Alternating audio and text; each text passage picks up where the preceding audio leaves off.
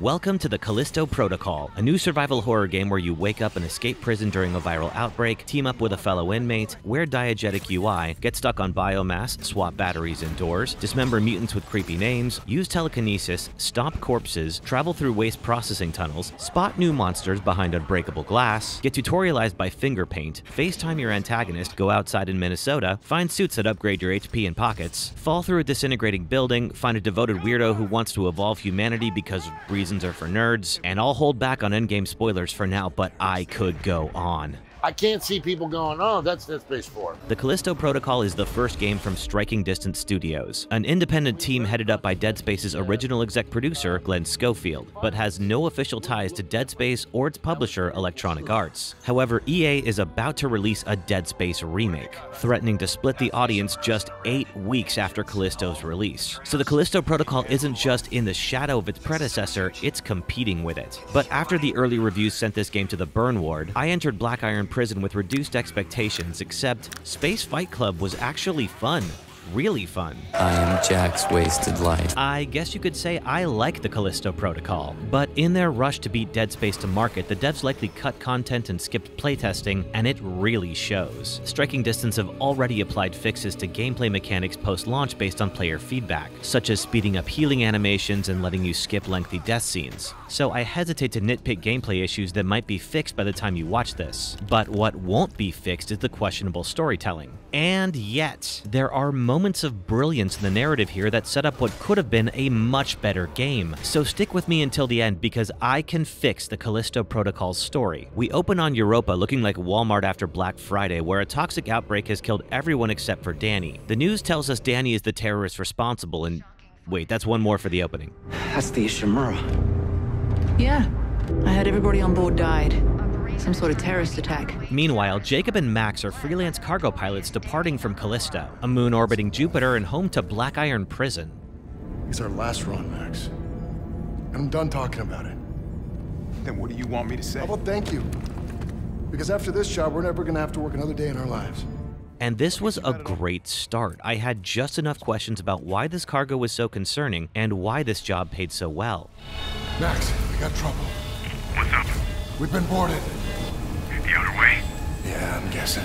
Max was right to be worried. Danny and the oh snap, she is a terrorist cell have slipped onto Jacob's ship. After venting the intruders, Danny shoots out the windows, causing an oxygen leak and forcing a crash on Callisto. Jacob and Danny are the only survivors. We're boarded by. Let go of me! Her! Her! She's the one who. When the prison's guards arrive, they capture both Jacob and Danny and make them new inmates at Black Iron Prison. Pause with me here. This is a great setup for rising conflict. Jacob and Danny both survived a harrowing crash they believe the other one is responsible for. Their friends have just died and they each think the other's to blame. And we have no idea why Danny targeted Jacob's ship. So let's kick back and... Why? Oh, we're just... This is going to be all about you. You were inmate.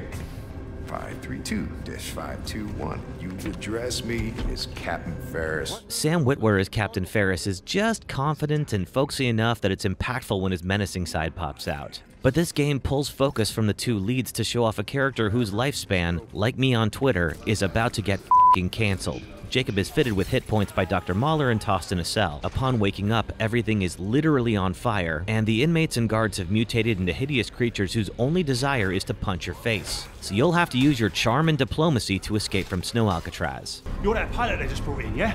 Yeah, well, look, I've been in here half my life. I know this place. I've got a plan to get out. If you help me out of this cell, I'll help you, yeah? You meet Elias, one of the only prisoners not infected, who says he can help you escape if you open his cell. Elias is serving time for exposition dumping and he will strike again. He's somehow a third wheel on a two-person team, but at least he helps you sneak past Captain Ferris. You.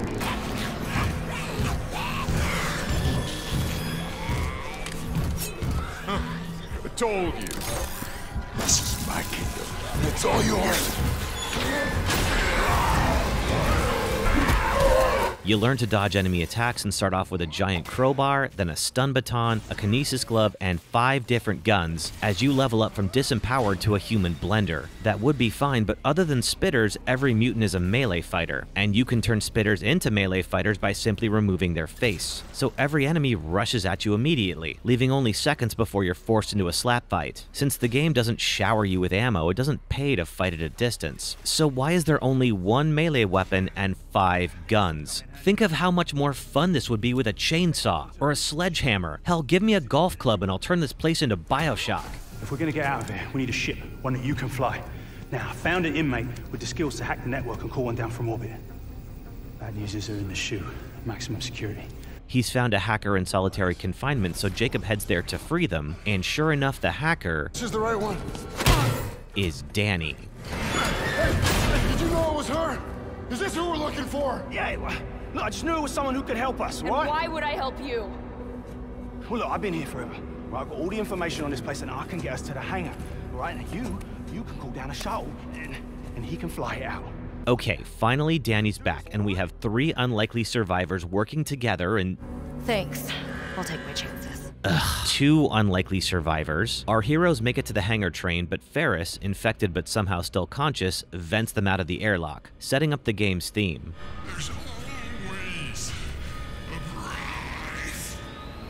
Elias dies, and Jacob finds Danny pinned down in a nearby garage, and she grapples with a reluctant choice of teaming up with Jacob or losing her face. Hey, you don't have to like me and I don't have to like you, but Elias was right. We don't stand a chance alone, but together we might just make it out of here alive. Fine. How do I know I can trust you? Here. Take this. You'll need it. Those things are everywhere. Name's Jacob, by the way. I know who you are. Finally, almost halfway through the game, we find out why Danny hitched a ride on Jacob's ship. What's in here? Uh, medical supplies? Bullshit. Open it. Why? Because I said so. We're not going anywhere until you do. Yep, just like I told you. But records show you made multiple drops right before the incident. Yeah, incident. me and a dozen other cargo ships. Don't try to talk your way out of this. I know you were involved. I had nothing to do with what happened on Europa. So Danny and the Outer Way were trying to prevent another outbreak like the one on Europa, and they thought the evidence was on Jacob's ship. We reach the hangar and Danny calls the ship down, but Wait, what are you doing? Not me. the warden appears, blasts the ship out of the sky, and Jacob does his best impression of my credit score. When a dev team is under a tight deadline and they don't have time to playtest everything, it's common to prioritize testing as early in the game as possible, because that's what journalists and potential buyers are most likely to see. I can't say the Callisto Protocol didn't playtest the second half of their game, but I can type it. Because little did I know, the shittiest levels were yet to come. You descend underground to escape the collapsing hangar, to the ruins of an old colony that housed the original terraformers of Callisto. Late in the project, the colony was scrapped and the UJC built Black Iron Prison on top of it. We almost got killed just trying to get out of Black Iron. about escape, Then what's it about? Not anymore. What's it about? Answers. Shoot down one of his own ships? I don't know. And how is it connected to Europa? So you two are headed back to Black Iron. But first, you have to get through our guest stars, the clickers from The Last of Us, who hunt you using sound and spawn more enemies out of the walls if you're detected. Here's an example of noise that will drive them all towards you. But lucky for you, this is completely silent. This goes on for almost an hour, and these blind Groots absolutely hate me, so at least we have something in common. You finally find a moving platform and go loud again, but first, you meet Two Head.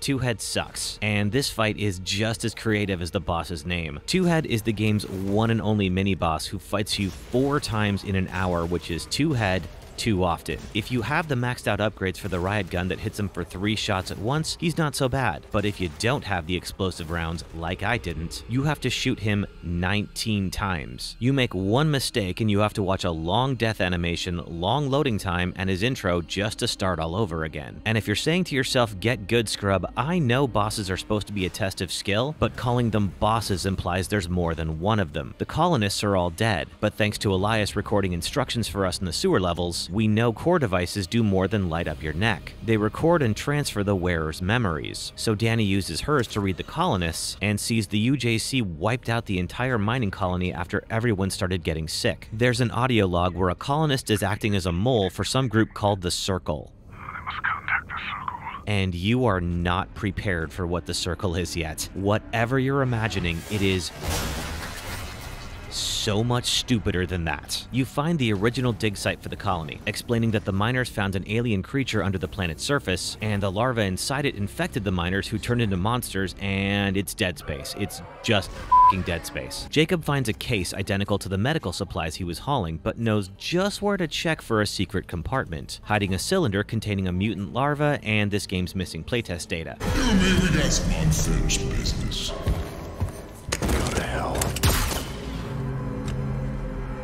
As you can see, things have changed. Ferris has gone full on Wesker and has been looking forward to reuniting. Unfortunately for you, his love language is physical touch. You win the fight, but Danny has been cheating on you. Oh, false alarm. She's just infected. I won't turn into one of those things. No, no, no, no, no, no, no. Okay, that's not gonna happen. Hey, we are gonna fix this. How? We're gonna stick to the plan. We're gonna get to the Warden's Tower. There's gotta be a way to reverse this. You don't know that. No, I don't. But we're not gonna give up now. We're gonna finish this thing together. We're getting into the endgame now, so there'll be spoilers from here on. Jacob and Danny return to Black Iron and they're quickly recaptured by the only competent guards in the whole game. So now you're off to serve five whole seconds of hard time. I have Danny. Where is she? The lab at the heart of the prison. He's monitoring everything, but we can talk here. I can get you to the warden. I can cure her. This game has been gradually empowering you, and this level should be the crescendo. Like that moment in Control where you let loose with all your upgraded powers and just see how far you've come. But the final hallways here are the same fights over and over, like everything else in Control. Just tell me how we can cure her. You can use this to synthesize an antidote, but you'll need to extract a sample from the Warden's Alpha. This is what? During the original outbreak, a colonist known as Subject Zero demonstrated a unique ability to synthesize the biophage, to control it. Now, the Warden seeks to replicate the conditions of the original outbreak, hoping to recreate Subject Zero as Subject Alpha.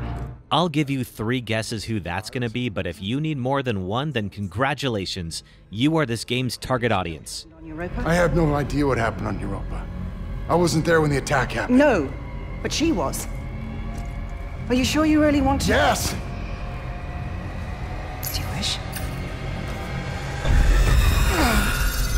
What did you do to me?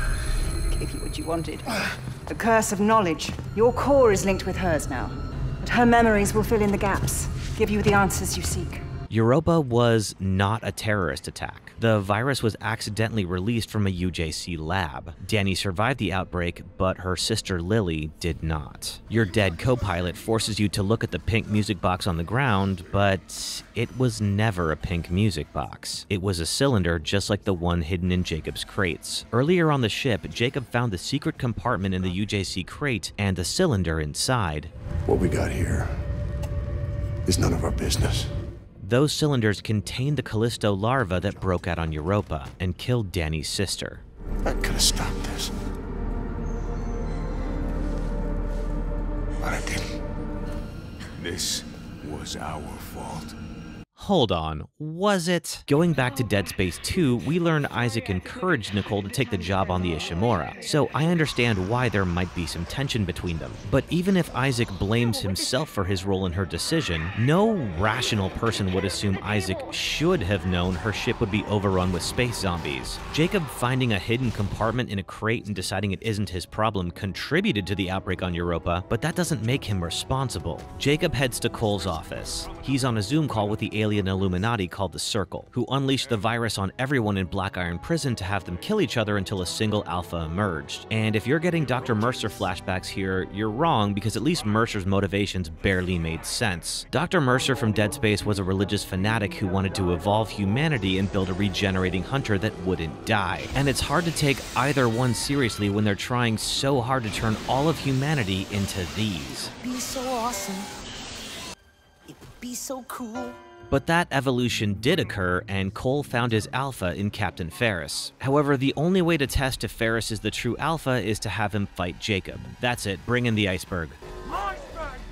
The Callisto Protocol is published by Krafton, most famous for the Battle Royale game Player Unknown's Battlegrounds, or PUBG. Callisto was originally set in the PUBG universe, which confused fans because PUBG is a multiplayer shooter and this is a horror game. But a few months before release, Schofield confirmed the game was no longer connected to PUBG. But that's not entirely true. In the colony, you find references to an earlier outbreak taking place somewhere called Paramo. If that sounds familiar, that's a map in PUBG. He approaches. The survivor. The survivor. Solitarius. Vir Solitarius. Where's the Alpha?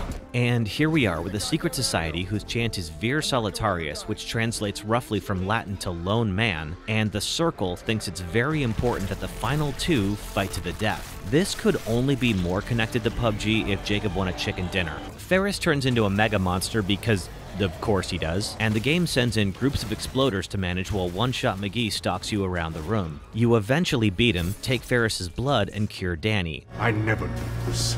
No. This time you do. You two run to the escape pods, but there's just one. Jacob shoves Danny in the evidence to prove what happened inside the pod and launches it. You don't know what you're doing! I didn't. But I do now. I do belong here. Now, Danny can prove what happened while Jacob stays behind, presumably to die. But Mahler has other plans for Jacob, setting us up for what will likely be the DLC. Jacob, there might be a way out after all. Reactor for temporary safety activated. But I'm going to need your help.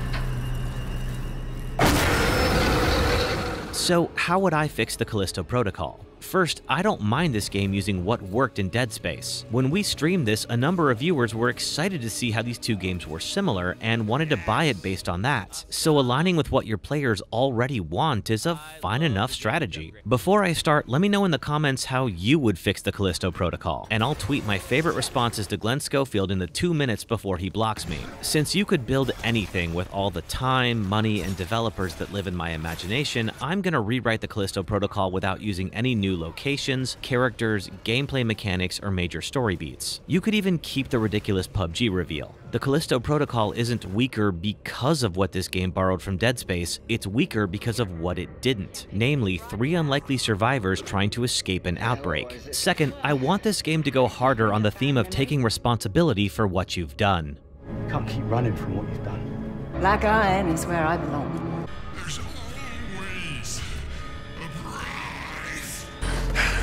Make him pay for what he's done! We keep the original scene with Jacob and Danny on the ride to Black Iron, but we stick with them instead of Ferris. We don't learn answers, but we take the time we should have originally to set up their conflict. Jacob breaks out Elias, Elias shares his plan, they break out Danny. Well, look, I've been here forever. Right, I've got all the information on this place, and I can get us to the hangar. Right, now you, you can call down a shuttle, and, and he can fly it out.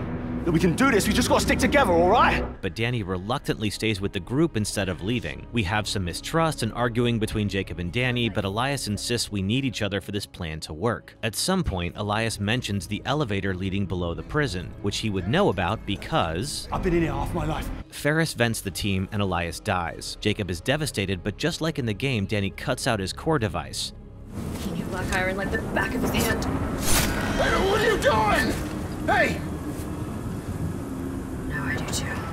But this time she tells Jacob about core syncing, introducing the concept to us much earlier. We keep the scene where Danny gives Jacob the riot gun to prove she trusts him, and heading to Jacob's old ship and finding only medical supplies. Danny gets infected much earlier, just after the ship crashes, but the infection time is slower. Jacob wants to return to the prison to find a cure for Mahler, and remembers the elevator Elias mentioned. Danny already synced with Elias, so Jacob syncs with Danny to find out where the underground elevator from the prison is. But Jacob doesn't know that syncs work both ways. Danny learns that Jacob knew the UJC were going to hurt people with whatever was in those cylinders, but he really needed the money. Didn't even tell Max, had the chance to turn down the job, but said he would take it. Make him much more responsible for what happened on Europa. When his memories leak into Danny's and she realizes Jacob is responsible for Lily's death, she's too weak to fight Jacob or the mutants who keep attacking, so she needs him to survive. She keeps asking questions about the cargo, but he lies or deflects and talks about how he was deep in debt back on Europa and needed a way out. When they reach the elevator, she confronts him. He admits what happened, tries to explain himself, apologizes. She tries to kill him, but this is when the guards catch them. Mahler summons Jacob from his cell, she gives Danny the inhibitor, and offers a cure if Jacob gets a sample from Ferris, just like in the original game. Jacob and Danny go together, she's very weak but still angry. Jacob knows that if he cures her, she'll kill him. We have the big reveal about Alpha Ferris, and the Circle wants a 1v1 fight. They want to separate Jacob and Danny, but Danny refuses to let Jacob fight alone. She'll die if he dies, and also don't give the Circle the very thing they want. The Circle is obsessed with competition, survival of the fittest, vir solitarius, but Jacob and Danny have learned the way they work best is when they're working together. They take down Ferris, and Jacob receives the sample. You think you've beaten us? Ferris was weak, an imperfect vessel. But in that sample is the key to unlocking a centuries-old dream. That's not failure, Mr. Lee. That's progress. Leave the sample and walk away. Now, the choice Cole offers Jacob is way more meaningful because there are real stakes if Jacob cures her. We can both have everything we want. So tell me, Mr. Lee, what do you want? I could have stopped this. Jacob decides to trust Danny, and he cures her. Danny declines to kill Jacob. They finally trust each other, but when they reach the exit, there's only one escape pod. Like before, Jacob gives Danny the cylinder and shoves her inside, telling her that, like Mahler, Sorry. For everything. I do belong here. Danny has forgiven Jacob, but Jacob hasn't forgiven himself for what he's done. Now Danny has the evidence and the cylinder, and we end on Jacob and Mahler queuing up the DLC. Glen Schofield said if given a choice, he wouldn't have remade Dead Space. He crunched to get the Callisto Protocol out before the Dead Space remake, but he and his team ultimately cut some corners and introduced an intriguing world with some rough edges. He swung first, but didn't knock out the competition. Will the Callisto Protocol survive the 1v1 with Glen's other creation? Vir Solitarius.